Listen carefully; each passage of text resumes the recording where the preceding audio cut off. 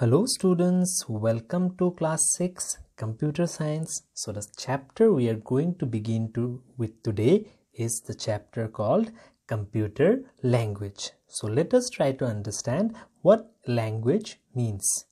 So what is a language? A language is a medium of communication. So I am speaking to you in the language English.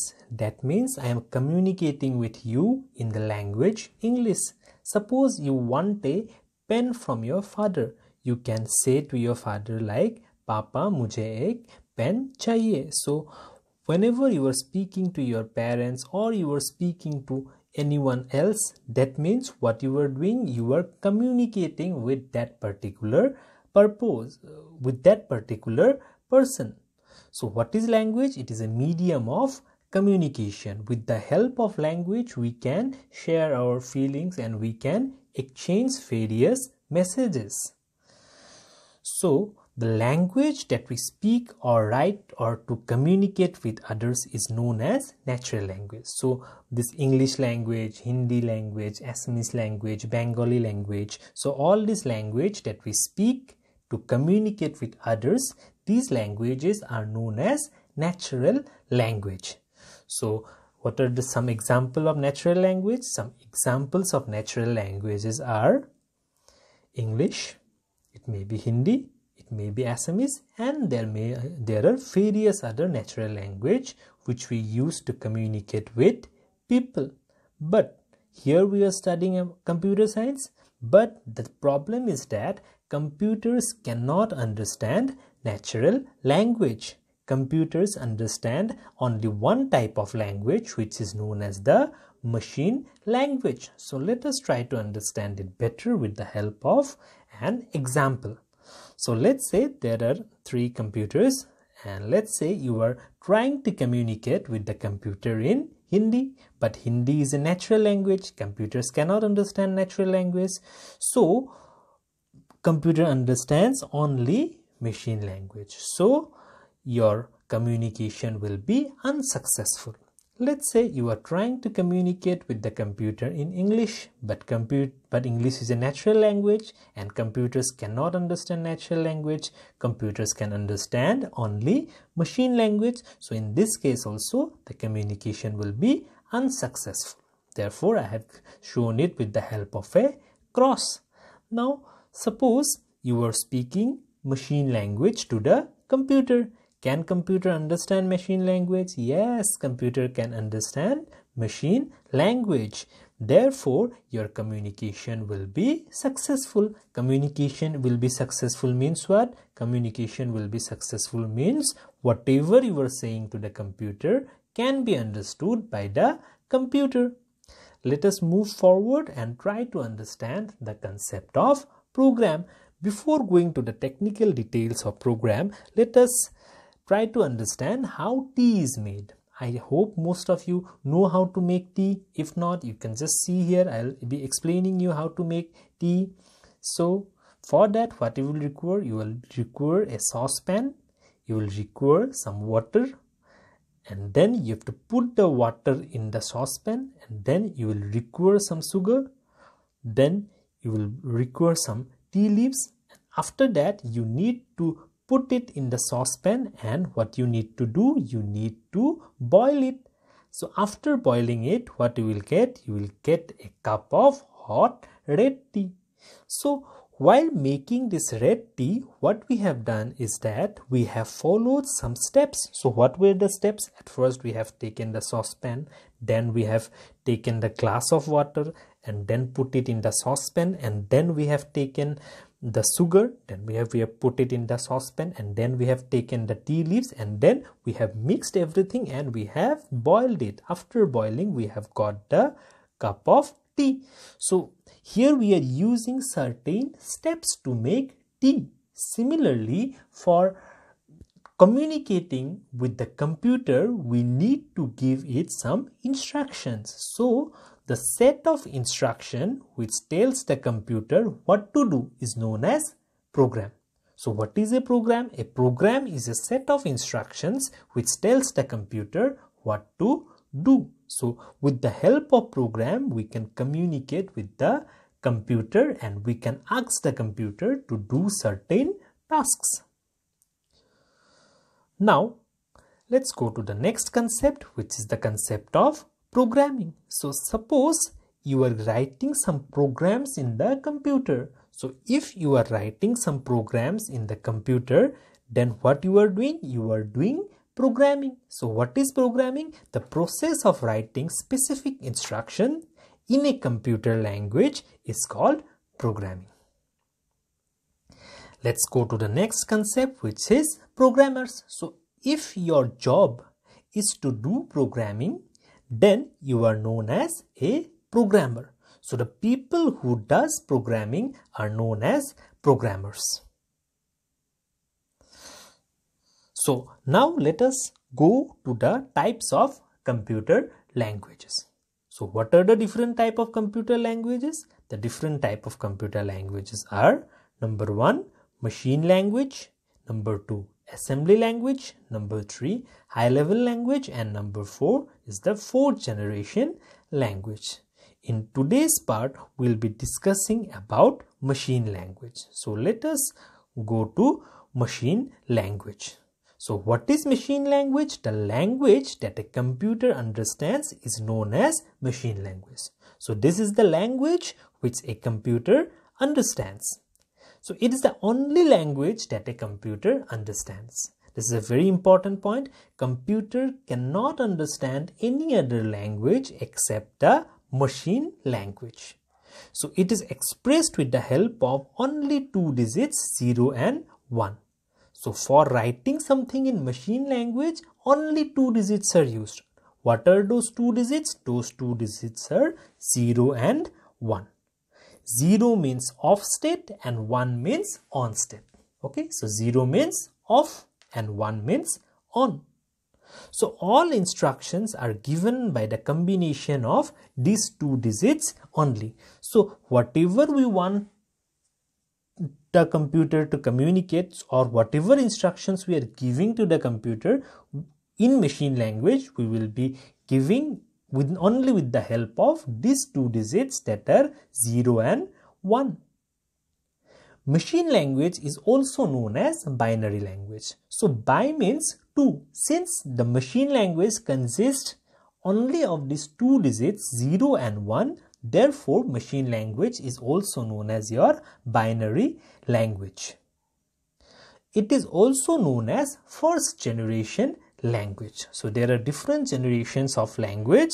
Out of that, machine language is known as the first generation language. Why? Because it was the first language that was developed. It is also known as low level language. There is another name for machine language which is first generation language. There is one more name for machine language which is low level language. So let us try to understand the previous example again. So if you are communicating with the computer in machine language your communication will be successful. Why? Because a computer understands machine language. So let us try to understand the advantages of machine language so what are the advantages of machine language? The first advantage is that it has a very very high speed. Why it has a very high speed? Because we are directly communicating with the computer in the language in which it understands. For example, uh, let us try to understand it this way. Suppose this is you, this is your friend so let's say you understand Hindi and your friend has come from Bangalore. So let's say he understands Tamil but not Hindi. So will both of you be able to talk to each other? No, both of you will not be able to talk to each other. So what is the method in which both of you will be able to talk to each other? For talking to each other, you will require a third person who knows both Hindi and Tamil. So what you will do? So you will at first say your things in Hindi, then that person will be translating your Hindi words into Tamil words. But let's understand one more thing. Let's say your so this will take some time. Yes, it will take some time. But let's say you understand Hindi and your friend also understands Hindi. Now, is there a requirement of any third person here? No, there is no requirement of any third person in this case. Therefore, your communication will be faster. So, since machine language is the language which the computer understands directly, no translator there means there is no third party which is required for explaining the things or translating the things in machine language because we are interacting with the computer directly in machine language. So if we are interacting directly in the language in which the computer understands, then the speed will obviously be high. So this is the first advantage of machine language. What is the second advantage? Its memory utilization is very less. Since no since directly we are communicating in machine language, therefore the memory that it will take up will be very less. It requires no translator to translate the code. So if you remember the example, when was translator required? Translators were required if both the persons do not understand the same language. But if both the persons understand the same language, that is Hindi, then there is no translator required. Similarly, here if we are in talking to the computer directly in the language in which it understands then no translator is required. This is the third advantage of machine language. But there are certain disadvantages also of machine language. What are the disadvantages? So the first disadvantage is that understanding and learning machine language is tough and tiresome process. It is very difficult to learn and understand machine language. For example, suppose let's say uh, I'm writing here hello. Can you understand hello? Yes. Can it be remembered easily? Yes. But for writing hello in machine language, let's say we require this so is remembering hello easier or remembering this particular language is easier? Obviously remembering hello is much easier as compared to remembering this. So previously when only machine language were available, normal people were not able to um, communicate with the computer. Normal people means I mean computer literates. Only computer computer illiterates computer illiterates were not able to communicate with computers. But now even with a very little knowledge people can communicate with the computer. So if had there been no other languages developed then we would not have been able to communicate it with computers. Why? Because understanding and learning machine language is very tough. So see for one simple word hello there are there is so many digits. So not only hello word is there there are various other words. So for those words also very big big codes will be there. Therefore what we can say is that understanding and learning machine language is tough and a tiresome process. Next is it's a machine dependent language. For different computers the languages will be different so for example, you have learned machine language properly for one computer.